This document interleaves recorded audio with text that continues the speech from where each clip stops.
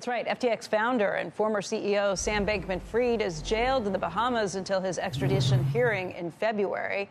Our next guest says one defense option could be for him to waive his objection to extradition to the United States. Joining us right now is Jacob Frenkel, who's the chair of the Government Investigations and Securities Enforcement Practice at Dick- Dickinson Wright. Formerly, he served as senior counsel at the SEC's Division of Enforcement. And Jacob, I think a lot of people look at this and think, okay, um, the United States is moving. Some people thought it took too long. I think if you follow these things, it's probably uh, you probably think it happened pretty speedily. Um, but what are his options? What happens next? Will he be extradited back to the United States in the end? Uh, Becky, that's a great question because there's been a lot of talk about how extradition really is inevitable. And the more I think about it, is I think the best strategy for him is to fight extradition. And the reason for that is, and that's not to say he would not ultimately be extradited, but we're dealing with cryptocurrencies. And when we're talking about extradition, without getting too far into the weeds, there's an issue of dual criminality, which means is the violation of law as established in the Bahamas the same as it is in the United States. If it's not, then he cannot be extradited um, on the on those in those areas of law. And that could be one area, for example, where if the Bahamas want to keep him, if they want to prosecute him first, or if for some reason he's working something out with the Bahamian authorities, that he may be able to, you know, stay in stay in the Bahamas. The other advantage in fighting extradition is to be able to circumscribe, put a limit on what could be his potential term of incarceration.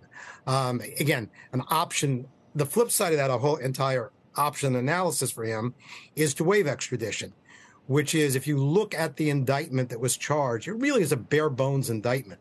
I mean, one day later, I mean, if you think about it, the indictment was unsealed on Tuesday, the day of the congressional hearings. The next day, the United States Attorney's Office in the Southern District returned an indictment involving a Ponzi scheme in relating to cryptocurrencies, it was a much more robust, detailed indictment, more along the lines of what we're used to seeing out of the Justice Department.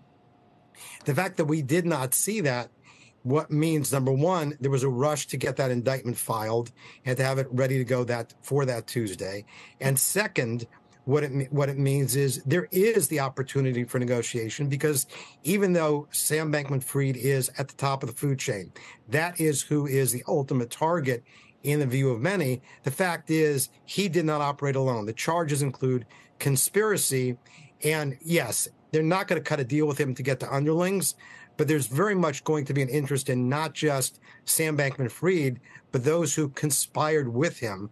And I think there'll be an acute interest as well. You, um, you mean conspired with him outside of the company, Jacob? I, I, there's so many questions on this. Again, I don't know why we would negotiate with this guy. Um, you, you think there are other players outside of the company, not his underlings? I, well, the, the, the, answer the answer is that's all part of the investigation, and, and I agree with you in terms of negotiating the in the typical sense. We're, we're used to historically. If you go back to the days of Enron, we're all talking about negotiating to climb the ladder. He's the top, so there is nothing to negotiate. But the fact that he's not in the United States means that you know the United States does not have the ultimate leverage against him yet. Yeah, but isn't and, fraud and isn't fraud a crime in the Bahamas too?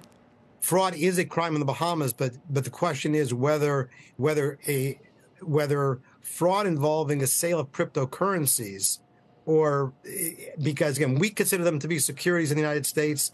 We've taken that position definitively. Yes, fraud is, money laundering is. Know, stealing people's money however you do it. No, John Becky, Ray says not, this is just old-fashioned extortion. J- Jacob, you, you, just you just totally gave all the conspiracy theorists though they're, what, what they're looking for. You just said there's no doubt it was a bare bones indictment to rush it before the congressional hearings. It, are there, were there political types that have gotten, uh, you know, political contributions, was that going to come out on uh, in front of the with the congressional testimony, and and it was actually rushed no. to prevent I, that? I don't. I don't think that at all. I then think. I think. The, I think the rush. Why was it rushed? I, I, think the rush to get the indictment is to make a very clear statement. This is a crime. And I agree with you. This is a crime. This is fraud. What I'm talking about is some of the legal nuances involving extradition and what he ultimately right. could bring to the table in, fi- so, in fighting extradition. Jacob,